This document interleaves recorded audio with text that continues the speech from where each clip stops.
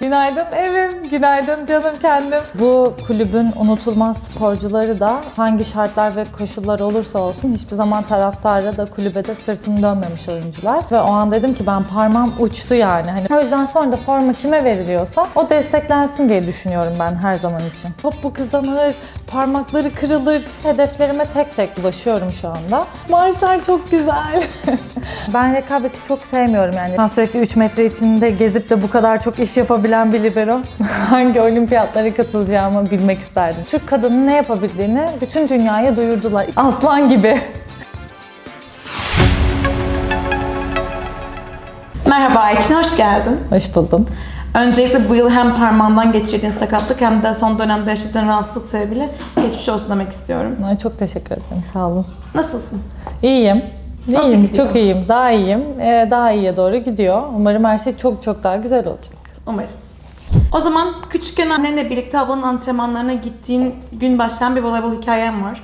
Bilmeyenler için anlatmak ister misin? Anlatayım. Hala bilmeyen kaldım bilmiyorum ama. Ben 6 yaşındaydım voleybola başladığım zaman ve 6 yaş bir çocuğun evde bırakılması için oldukça küçük bir yaş aslında. O yüzden biz annemle beraber aslında ablamı e, karayollarına voleybol antrenmanına götürüyorduk.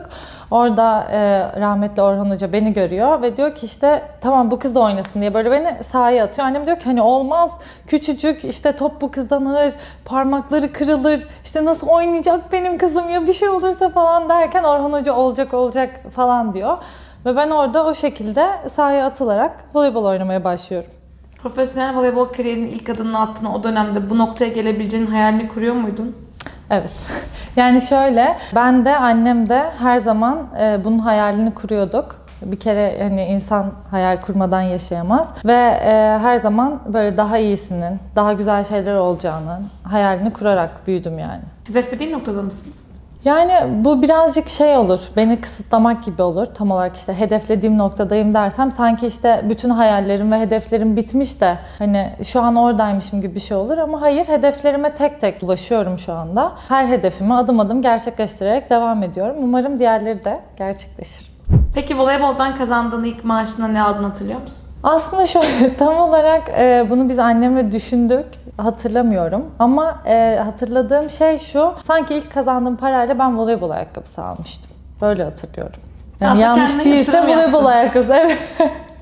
Bir maç gününün nasıl geçtiğini merak ediyorum. Ayçin Akyol sabah maç sabah uyanır ve gerisini senden dinleyelim. Harika. Ayçin Akyol e, maç sabahı uyanır ve der ki günaydın evim, günaydın canım kendim. Böyle kendime güzel şeyler söyleyerek motive etmeyi çok seviyorum. Sonra hemen bir kahve yaparım. İşte filtre kahve makinesini hazırlarım falan. Bütün ev kahve koksun. İşte çok severim. Klasik maç kahvaltımı hazırlarım. Bu maç kahvaltında ne var?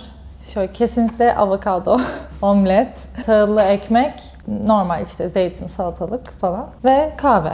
Budur benim klasik maç kahvaltım. Sonra böyle şarkılar eşliğinde makyajımı yaparım, dışarı çıkarım.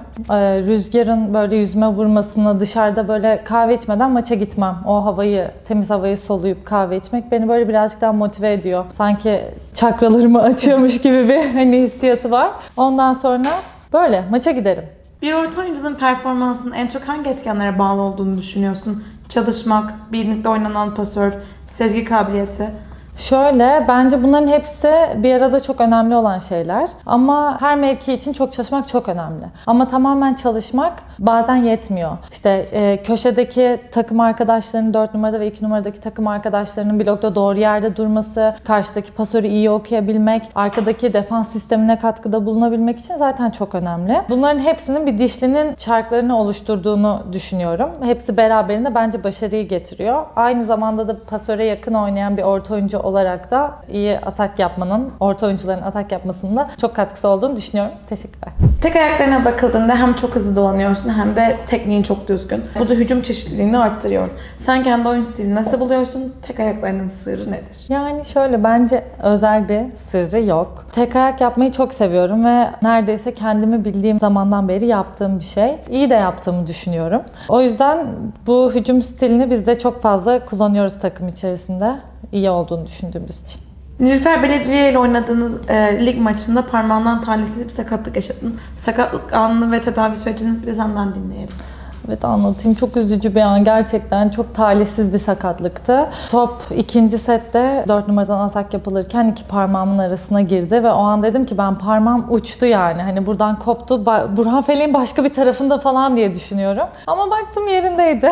Sadece Z şeklinde çıktığı için e, büyük bir problem yarattı. Çünkü çıkarken e, etrafındaki bağları da e, zedelemişti. O yüzden bunun iyileşmesi uzun bir e, zaman aldı. Aynı zamanda hani bir de şey gibi oldu böyle hani tamam çıktı, taktık, tamam artık oynayabilir gibi bir izlenim oldu etrafta ama aslında öyle değil. Çıkık da kırık gibi belli bir zaman içerisinde kaynaması gerekiyor ki tekrar aynı şekilde çıkmasın. Hem onun kaynaması bir zaman gerektirdi. Sonra etrafındaki bağların iyileşmesi bir zaman gerektirdi. Sonra bunlar bittikten sonra yeniden başladım. Ben işte o süreci nasıl geçirdim? Yani talihsizlik biraz da şey oldu benim sağ elimde olması oldu. Hani solda olsaydı belki atak yapabilirdim, servis atabilirdim. Hani devam edebilirdim bazı şeyleri yapmaya ama sağda olunca bunların hepsini yapamadım. Haliyle bize tamamen işte e, kas, kondisyon, bacak, hız ne yapabiliyorsak onların hepsini yaptık. O süreçte işte kızların antrenmanlarını izliyordum. Biraz üzülerek maçlarını izliyordum. Çünkü hani ben voleybol oynamayı çok seviyorum. Voleybolun içinde olmayı çok seviyorum. Sahada olmayı, antrenman yapmayı çok seviyorum. Bu da onları izleyip onların yanında, onların aralarında olamamak beni birazcık üzdü tabii ki. Ama geçtiği için çok mutluyum gerçekten. Tekrardan çok geçmiş olsun. Teşekkürler. Bu yıl sana gelen transfer tekliflerine set çekerek Galatasaray ile 2 yıl daha sö- sözleşme uzattın. Sözleşme yenileme sürecin nasıldı? Galatasaray e, muhteşem bir e, taraftar kitlesine sahip bir camia kulübü. Buradaki işte destek ve sevgi benim için çok önemli. Kariyerime de bu şekilde devam etmek istediğim için burada kalmayı tercih ettim.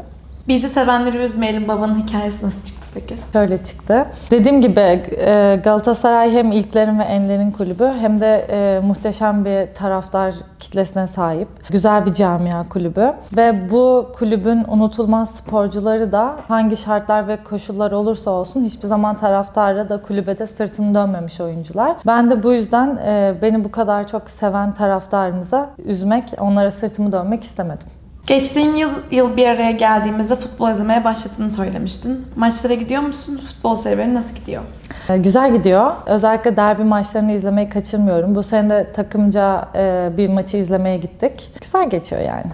Maçlara da eşlik ettiğini biliyoruz. En çok hangisini seviyorsun? Evet, maçlar çok güzel. Ama hani benim tek bir tane söyleyebileceğim yok. Ben ikisini çok seviyorum. Ee, sahibisin kalbimin ve çocukluk aşkımsın. Benim iki favorim. Kesinlikle bayılıyorum yani çaldığı zaman hatta bazen evde kendim bile böyle bir şeyler yaparken ansızın kendim marşları söylerken buluyorum. O kadar bence güzeller. Bu sezon Galatasaray'da antrenör değişikliğiyle birlikte hem sezonun başında hem de sezon ortasında birçok pozisyonda yeni transferler de kadroya katıldı. Sezon sonuna doğru gelirken gidişat nasıl yorumlarsın?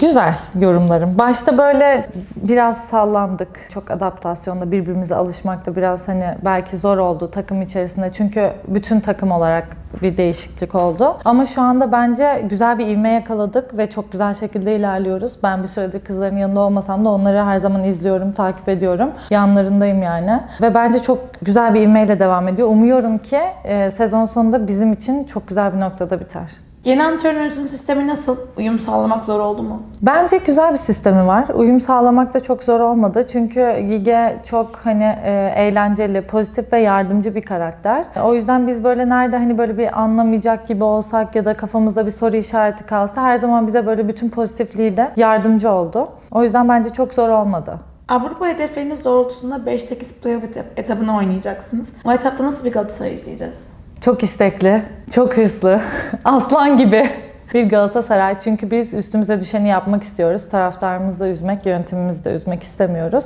Yani umarım istediğimiz noktada bitiririz. Takımdaki yabancı oyuncularla iletişimin nasıl? İyi, bence çok tatlılar bizim yabancılarımız gerçekten. İyi anlaşıyoruz bence. Hiç böyle yabancı gibi değil de daha çok böyle hani bizden birilermiş gibi böyle ufak bir aile gibi olduk. Bence çok güzel. İlkin Aydın'la birlikte özellikle bu yıl Galatasaray'ın sembol isimleri oldunuz. Gelecek sezon içinde kurulacak kadroya ilk sizin isimleriniz yazıldı. İlkin iletişimin nasıl? Çok iyi. Yani şöyle biz İlkin'le çok yakın arkadaşız ve çok uzun süre aynı odalarda kaldık. Bizim iletişimimiz çok güzel. Yani nasıl anlatabilirim bilmiyorum ki ben.